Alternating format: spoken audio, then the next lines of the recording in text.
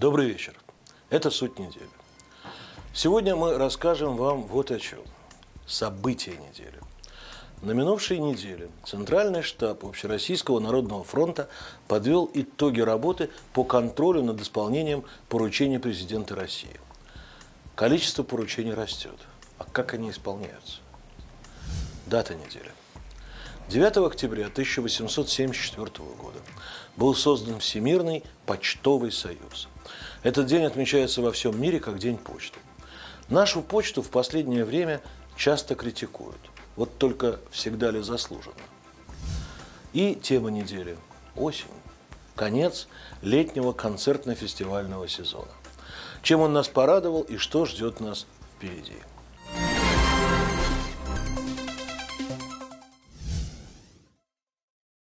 Общероссийский народный фронт становится заметным общественно-политическим явлением на российской политической сцене. С ним даже связывают некие эксклюзивные права в некоторых наиболее важных направлениях государственной политики. Мой гость сегодня – Равиль Камильевич Хуснулин, руководитель исполкома Общероссийского народного фронта в Республике Татарстан. Попробуем получить от него информацию, что называется, из первых рук. Народный фронт в настоящее время приобрел статус такой околопрезидентской структуры, которая контролирует множество его указаний, как они исполняются правительством, другими органами. Вот как наш Татарстанский общероссийский народный фронт здесь в этом вопросе себя чувствует? Много поручений по Татарстану? Вы знаете, у нас ведь нет отдельных поручений по Татарстану. У нас есть поручения, которые дает президент, лидер фронта, по итогам тех или иных мероприятий, которые Народный фронт проводит. Угу. Вот, например, значит, форум действий, так называемый, который является ну, что-то типа съезда. Да? Вот, там обсуждаются актуальные вопросы всех регионов, которые касаются и данных раньше поручений, и значит, майских указов. И по итогам каждого форума появляются какие-то дополнительные поручения тем или иным министерствам, ведомствам. Поэтому вот те поручения, которые есть, они касаются так или иначе всех сфер жизнедеятельности общества, и в Татарстане в том числе. И, конечно, мы э, смотрим за тем, как исполнительная власть э, реагирует на эти поручения, как они выполняются. И на сайте Народного фронта есть даже такой, как говорится, в онлайн-режиме э, страничка, которая позволяет смотреть за тем, как в регионах по какому конкретно поручению, по какому конкретно указу значит, э, как регион занимает какое место, какой рейтинг, угу. потому что идет постоянный, буквально ежесуточный мониторинг исполнения и поручений, и, и майских указов.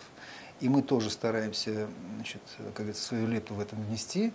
И у нас огромное количество информации, которую мы получаем от граждан.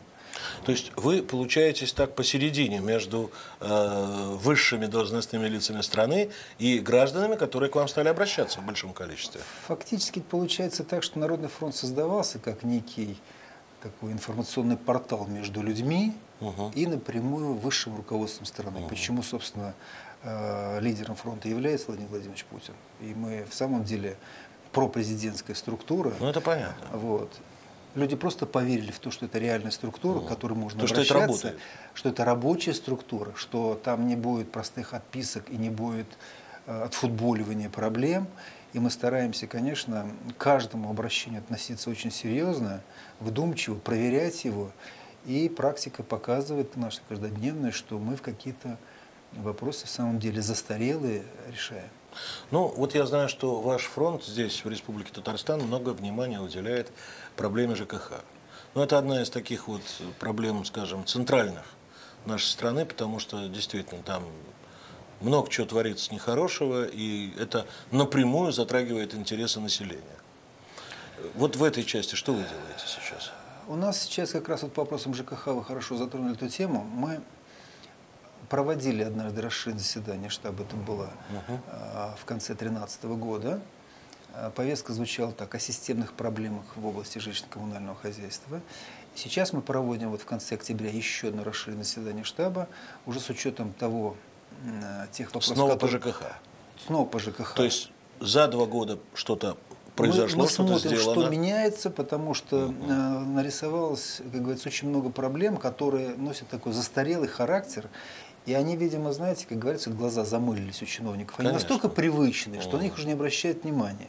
А люди с этим проблемами живут. Вы знаете, я, наверное, не смогу похвастать значит, такими глобальными успехами, но учитывая, что Ну вот в конкретных для вопросах. каждого конкретного человека это реальная проблема, Конечно. я считаю, что мы что-то сделали. Мы многим людям, которые к нам обращались, помогли решить вопрос, например, э, ремонта аварийного жилья. У нас обратились две многодетных мамы из э, Рыбнослободского района, которые стояли в очереди с 7 или 8 года, у одной четверо детей, у другой шестеро на детей. получение жилья? Да, вот. Одна из них вот уже сейчас, она имеет право на дотацию по линии Минсельхоза. Вчера только мне позвонил руководитель исполкома, что они уже начали строить ей дом. Вот. Второй отремонтировали дом, она стоит на очереди, значит, и очередь двигается в конце Мгм. концов, потому что, э, когда мы начали смотреть ситуацию, оказалось так, что люди, которые после нее встали на очередь, уже получили жилье, оно еще нет. Появилась некая тенденция к тому, что уже вот э, на тормозах не спускают вопросы, которые зреют очень давно. Нет, ну действительно это возмутительно. Вот факты выявлены, все понятно. Но тут налоги не платят, там дольщиков обманывают, здесь присваивают деньги, которые выделены на питание детей, э, здесь не дают квартиры там, где это положено. Ну, уже хочется каких-то мер, уже констатация никого не устраивает. Вы знаете, Народный фронт ведь э, не может собой подменить какие-то Нет, структуры. это понятно. Но, Но поднять вопрос, обострить информационную проблему, тем более, Да. что в отличие от чиновников мы эту информацию получаем очень конкретную и очень реальную, Ну и да. огромный объем информации. И э, вот у меня сотрудники в исполкоме значит, сидят допоздна и с утра, и потому что люди обращаются, потому что люди начинают верить. Это же как... э, Но грех будет обмануть их доверие. Нельзя, нельзя. Э, Есть, конечно, ситуации, когда люди считают, что вот мы просто обязаны им что-то сделать, хотя это совершенно не наша э, сфера деятельности. Мы не можем себе подменить суды, мы не можем представлять их интересы в судах. Нет, ну понятно, когда Но- люди видят, что какая-то структура Да, работает, да. они, конечно, заваливают ее всеми вопросами. Конечно, это конечно. понятно. Вот, но те вопросы, которые касаются вот именно э, контекста исполнения э, поручений президента, те, которые вписываются в контекст майских указов, которые мы мониторим, те, которые вписываются ну, фактически в то, что э, предписано уставом Народного фронта, мы этим занимаемся и от, от вопросов не уходим. Я считаю, что вот то, что граждане это обращают внимание, что они начинают отстаивать свои права, и мы должны в этом им помочь, это очень хорошо, потому что э, очень часто у нас ведь люди жили с ощущением того, что кто-то должен за них их проблемы решать. Ну да, у нас был такой старый грех Да, советский да. еще, но сейчас уже, по-моему, времена поменялись. Времена меняются. Да. Люди становятся более активными, более социально активными. К нам приходит очень много людей, которые вот не за страх, не за совесть, просто хотят за справедливость работать. И вот как раз от таких людей бывает огромный объем информации объективной. Юристы приходят, приходят общественники, приходят люди, которые занимаются в промышленности, люди, которые участвуют в госзакупках, люди, которые участвуют в тендерах. И они дают огромный объем информации, который дает нам пищу для того, чтобы посмотреть на положение, сделать соответствующие запросы, ну и где-то, наверное, подправить этот, э, ту несправедливость, с которой люди сталкиваются. Да. Ну что ж, Равиль Камилович, спасибо вам. Спасибо вам. Я хочу пожелать и вам лично, и возглавляемому вами исполкому татарстанскому Народного фронта активнее влиять на обстановку в республике и сделать так, чтобы э, вот хорошо на первом этапе, когда обращений граждан все больше и больше, значит, поверили, значит, видят в вас какую-то надежду, а, но чтобы это достигнув пика, это количество обращений начало снижаться не потому, что перестали вам верить, а потому что меньше в что нашей проблем жизни, меньше, да? меньше в нашей жизни проблем и недостатков. И все-таки Карфаген должен быть разрушен, коррупция должна быть побеждена. Коррупция, чиновничий произвол – это совершенно вот то, что, ну, наверное, в сфере ваших полномочий и совершенно не имеет права на жизнь в нашей стране. Потому что мы можем просто все потерять. Это, наверное, главный бич нашего общества. И просто вот э, бывает непонятно, как люди, находящиеся у власти, как люди, находящиеся э, ну, на определенных вершинах не понимают того, что они с этих вершин могут быть низвергнуты. Да, да, и причем очень больно. Да, падать всегда больно. Конечно. Спасибо вам. Вам спасибо.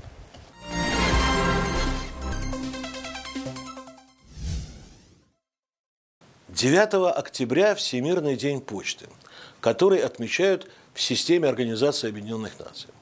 Решение о праздновании этого дня принял 14-й Конгресс Всемирного почтового союза.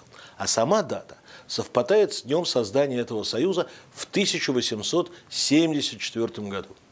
В 1969 на Конгрессе Союза почтовиков, который проходил в Токио, этот день провозгласили Всемирным днем почты. Именно 9 октября в 1874 году представители 22 стран, включая Россию, подписали в Бьерне Бернский договор, согласно которому учредили Генеральный почтовый союз.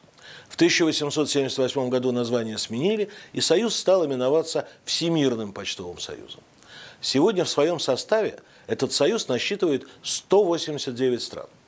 Начиная с 9 октября ежегодно во всем мире проводится Международная неделя письма. Согласно статистическим данным, Международная почта разговаривает на 6800 языках. Это самая протяженная сеть физической доставки почты в мире. Россия – старейший член этой влиятельной международной организации. За 300 лет своего существования почтовая служба в России претерпела значительные изменения – с развитием новейших технологий появляются новые способы передачи информации на дальние расстояния. Однако почтовая служба до сих пор остается актуальной. На территории России работает более 40 тысяч отделений почтовой связи. В перевозке почтовых отправлений используется более 450 почтовых вагонов, примерно 17 тысяч автомобилей и более 360 авиарейсов. Ежегодно Почта России принимает, обрабатывает и доставляет около миллиарда писем, около трех миллиардов печатных изданий, более 12 миллионов посылок и осуществляет около 44 миллионов денежных переводов. Регина Викторовна, ну вот поводом для нашей сегодняшней встречи послужил Международный день почты. Ну да, в рамках празднования Международной недели. Да, она продолжается неделю. Скажите, а у нас вот в России, у вас, в вашем предприятии, вы как-то отмечаете этот праздник? Часть? Да, в рамках празднования у нас проводятся расширенные филателистические выставки, угу. расширенные продажи именно знаков почтовой угу. оплаты постольку все это связано. А, в некоторых почтамтах мы даже собираем любителей посткроссинга. Угу. Они приносят свои открытки, мы организовываем выставки. Это больше для любителей филателии, наверное. Угу. Вот этот праздник, он ну, да. более заметен для этой категории людей. Э, скажите, Регина Викторовна, сегодня, конечно, почта ну, в традиционном ее понимании выглядит несколько архаично. То есть, ну, как бы да, ну, кто сегодня пишет письма, да, вот друг другу? Я вот уже давно не помню, чтобы я кому-то посылал письма или получал от кого-то. Естественно, все идет в электронном виде, все это идет уже э, через интернет. Э, в связи с этим, вот почта, скажем, наша татарстанская, ощущает падение объема э, переписки или нет? Ну, а падение объемов переписки как таковое а, не замечается в связи с тем, что у нас очень большой объем письменной корреспонденции, которые а, рассылают юридические лица. Угу. Поэтому а, даже на сегодняшний день у нас принята новая концепция обслуживания юридических лиц, угу. называется модель корпоративного обслуживания. Угу. И а, по республике будут выделены обособленные такие почтовые отделения, в которых будут обслуживаться только одни юридические лица. Угу. Поэтому, а Речь идет о большой. заказных письмах, то есть да. о письмах с уведомлением о вручении. Да, как о заказных письмах, так и о тех организациях, которые имеют интернет-магазины. А их становится с каждым днем все больше и больше, и поэтому вот этих вот эм, предпринимателей, которые открывают интернет-магазины, угу. что пользуются популярностью, сдают очень большие объемы почты, посылочные. То есть вы, посылочные, понятно. Угу. То есть вы, э, ну да, куда деваться интернет-магазин, он мимо вас никак не проскочит. Да. И вот эти обороты растут. Семимильными шагами, можно сказать. Угу. Потому что даже вот год к году, особенно это вот в новогодний поток чувствуется, все, угу. видимо, заказывают подарки ну, да, на да, новогодние да. праздники. А, У нас вот а, поток входящих мелких пакетов в этом году в 6 раз превысил предыдущий год. Мгм. Здорово. В шесть раз? Да, в 6 раз. Сильно. Но э, основная претензия, которая высказывалась в Почте России, она подвергалась такой критике очень жесткой в прессе и везде по России это было. Это, конечно, ужасно несоразмерные сроки доставки корреспонденции. То есть, когда там все терялось, куда-то выбрасывали. Все эти видео в интернете, где, помните, наверное, да, где Конечно. все эти посылки куда-то свалились, пропали и так далее. Э, Вот эта работа над ошибками проведена? Она проводится на регулярной основе, а, постольку, поскольку качество и пересылки, и обработки, оно очень серьезно. А, В KPI а, директора каждого филиала записано именно улучшение качества как перевозки, так и обработки. А, Понятно, что человеческий фактор где-то как-то и срабатывает, но у нас в республике хочется верить, что таких фактов нет. Вот японская делегация у нас приезжает а, 15 октября, будет здесь знакомиться, как работает почта Татарстана. И, а, соответственно, вот этот логистический центр, который у нас будет построен к Да, я хотел вот об этом спросить как раз. Да, вот- вот. расскажите про этот логистический центр, это очень интересно. Ну, это грандиозный проект. Да, На да, самом да. деле, логистический почтовый центр, он будет построен рядом а, с аэропортом города Казань. А, Соответственно, для того, чтобы можно было международную почту снимать а, с борта Мгм, и сразу, мгм. чтобы она поступала на обработку. А, Фантастическое абсолютно оборудование там будет установлено. Японская? Да-да. Ну, на- надеюсь, что японское. А, японцы вот поэтому едут? э, Ну, они хотят посмотреть, как у нас идет обработка, для того, чтобы ам, сделать лучше. Ну и, соответственно, вот я была в двух логистических центрах, которые у нас построены в России уже. Это Подольск, Подмосковье, Мгм. и ам, Санкт-Петербург. Мгм. Ну, это что-то фантастическое на самом деле. То есть, это э, такие э, транспортеры, такие конвейеры. Там сидит человек только на входе, когда он загружает мгм. посылки э, с контейнера. И все, дальше идет полностью сортировка, э, считывание, Считывание, индекса. да, да, все само по себе сортируется, То есть это на самом деле сумасшедшая сложная вещь. Ну, вот так да. мы смеемся, почта, почта. А тут вот, э, если такие крупные логистические центры будут появляться, и особенно, что приятно у нас в Казани, мы ведь получим от этого немалую выгоду. То есть жители Казани и вообще Татарстана будут получать э, международные почтовые отправления гораздо быстрее. Да, конечно. Потому что мы сразу с однозначно. логистического центра будем их забирать Да, да, да. в наше почтовое отделение.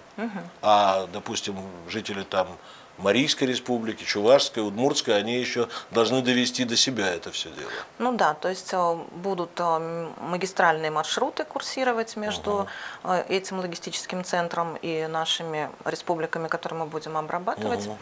Э, И, соответственно, перевозка вся будет в контейнерах, уже э, рассортированная прямо до почтовых отделений.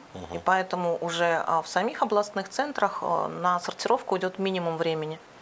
А мы думали, что все у вас уже плохо. Оказывается, а оказывается, у вас все хорошо и становится все лучше, что особенно радует. Ну да.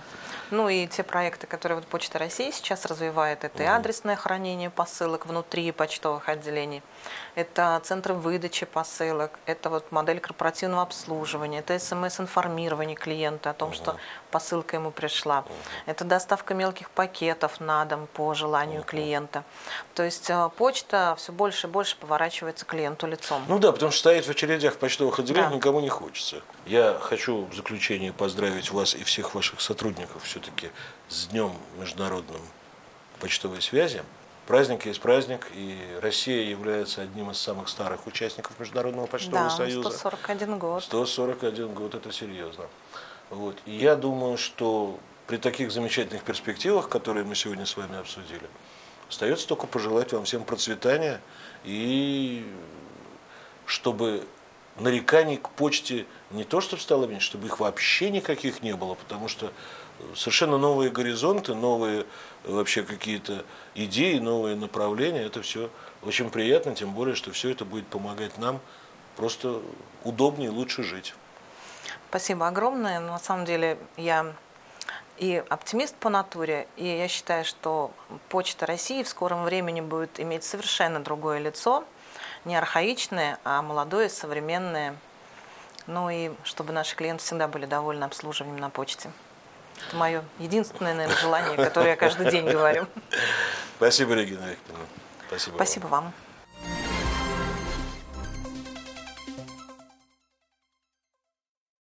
Сейчас небольшой перерыв, после которого мы поговорим об окончании летнего концертно-фестивального сезона в Казани и о планах на следующий год.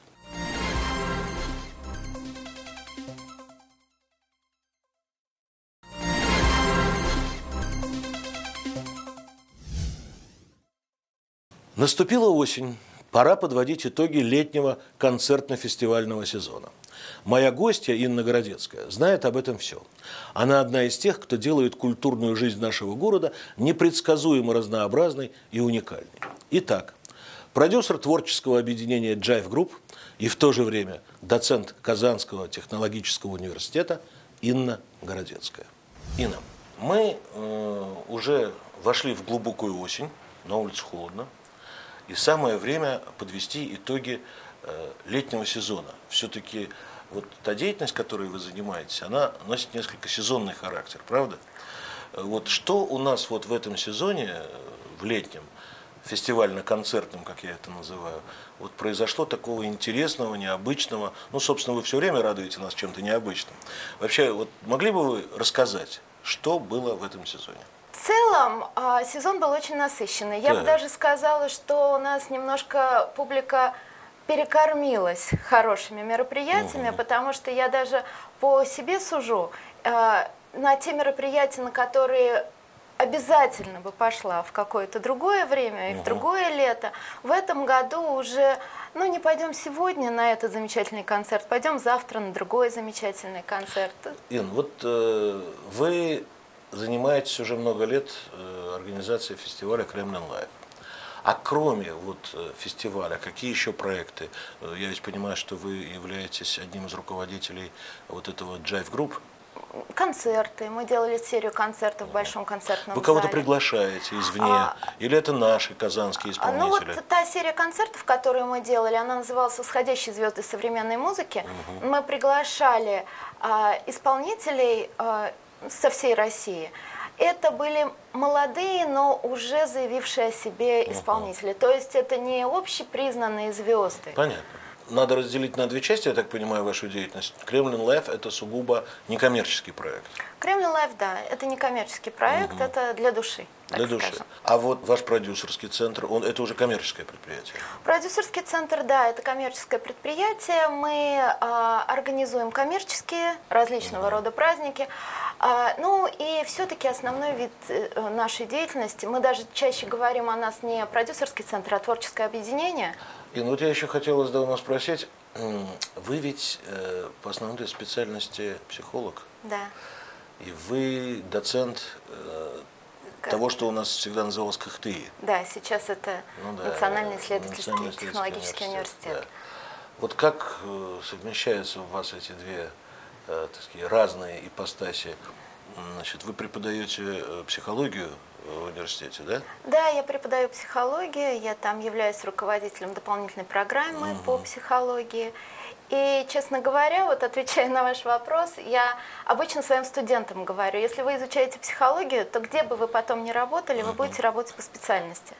Ну да. Вот, Это вот да. со мной именно так и получилось. Поскольку моя сфера это социальная психология, мне было всегда интересно, а, как среда воздействует на личность. И именно в этой связи и а, мои эксперименты в творчестве э, и в, в нашем вот, э, фестивальное движение, потому что я всегда думала о том, что ну, вот существуют ведь на Земле города, где а, ну, как бы все пропитано культурой, все пропитано творчеством. да. Ну, например, та же самая Флоренция в свое время, в Конечно. эпоху Возрождения, где умудрились и Микеланджело, и Рафаэль, и Леонардо в одно и то же время а, творить свои шедевры. Это вы Ну, как-то нескромно замахнулись. мне хотелось посмотреть и попробовать у нас в Казани, ну, поучаствовать в создании некой такой среды, где будет а, комфортно чувствовать себя творческим людям. Понятно. Какие-то планы на следующий год уже зреют? А, да, конечно. Мы обычно свои планы обсуждаем с нашим замечательным президентом Игорем Михайловичем Бутманом.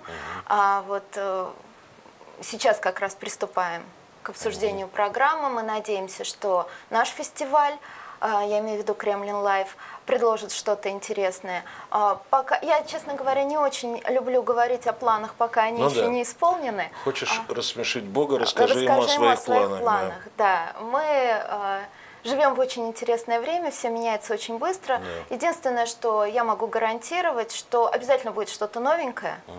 А, ну и потом мы ребята амбициозные, мы любим масштабные проекты. А, Что-нибудь. То есть вы замахнетесь на что-нибудь такое серьезное? Пригласите каких-нибудь невиданных в Казани гостей. Ну а почему бы и нет? Да. Почему бы и нет? А вот Почему? э, интересно, фестиваль Kremlin Live, он как-то границами жанра музыкального ограничен? Или там могут быть любые музыкальные жанры? Вы знаете, мы когда задумывали его, мы как раз-таки даже прописывали в концепции, что это фестиваль а, мультижанровый. Более того, он даже не совсем музыкальный, потому что у нас там были и арт-проекты, и а, есть такая ежегодная у нас практика делать фестиваль в фестивале. То есть, например, однажды у нас был фестиваль уличных театров в рамках Да, нашего интересно. фестиваля. А потом мы делали очень интересный проект с дизайнерами, когда и модные показы, это ведь тоже современное искусство. А, И кинопоказы у нас устраивались в рамках Kremlin Live. А, И стихи читались, были такие политические, э, поэтические слэмы. поэтические слэмы. А, Так что э, это то, что касается других жанров искусства. А в музыке а, Поскольку фестиваль продумывался изначально а, группой энтузиастов, и эти энтузиасты так получилось, что любят джаз, а, то, конечно, джазовая направленность, она прочитывается, да, прочитывается. Ну и то, что Бутман То есть является президентом. Венский филармонический оркестр слабо привести? А, Я принимаю эту идею, мы ее обдумаем. А, Ну, во всяком случае, у нас оркестр а, был уже, симфонический оркестр на Kremlin Live е выступал, Казанский оркестр «Романтика». А, Тоже было очень здорово, очень интересно мы посотрудничали, поэтому почему бы не привести Венский филармонический, все же зависит от... Дорого поди. Да, все зависит от того, какой будет бюджет. Ну что ж, спасибо, Инна. Было очень приятно услышать о том, что в наш коммерческий век есть еще люди, которые занимаются просто, ну, такой общественной деятельностью, можно так это назвать, наверное, да? Ну, Вот, и в общем, доставляют да, радость нам. Да, и, так сказать. Радует главное что? Вход бесплатный. Ну, Люди приходят и просто слушают хорошую музыку. Ну, Это принципиально было Да, сделано, это очень да, важно. это. Спасибо вам. Большое спасибо. Спасибо. Большое спасибо.